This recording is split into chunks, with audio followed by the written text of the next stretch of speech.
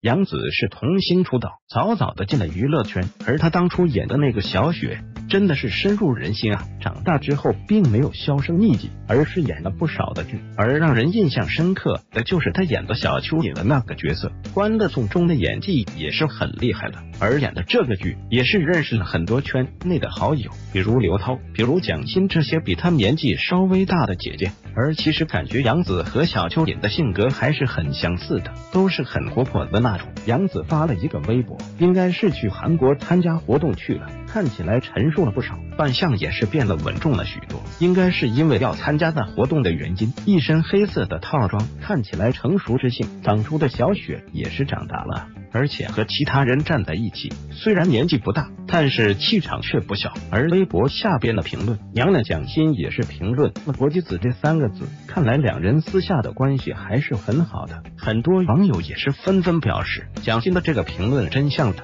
如今杨紫也是在渐渐的红出中国，走向国际，希望小猴子以后越来越好吧。